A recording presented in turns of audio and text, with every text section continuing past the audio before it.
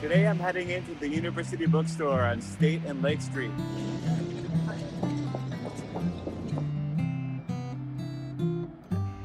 This is the premier place to come for all of your Wisconsin Badger apparel and needs. Have everything here from shirts, Shoes.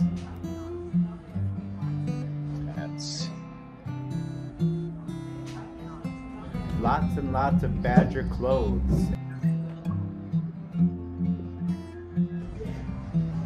And even pet toys. There are a few places downtown Madison that are more iconic than the University Bookstore.